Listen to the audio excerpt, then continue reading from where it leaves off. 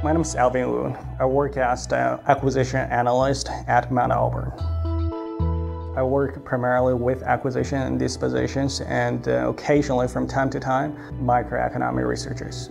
Prior to RedIQ, we used Microsoft Excel to manually label each line items and with RedIQ, it really speed up the process. The very first thing that surprises me about RedIQ is the ease of navigation and, uh, and also its ability to present data in a very clean manner.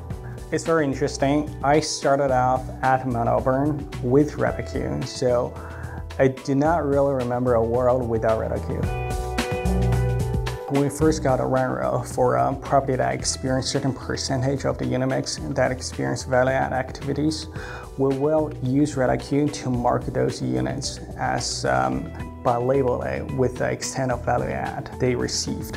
And when analyzing the deal, we're able to use RedIQ to easily see the delta between units that received a value add and units that did not, and in turn to identify how much value add potential the property still has.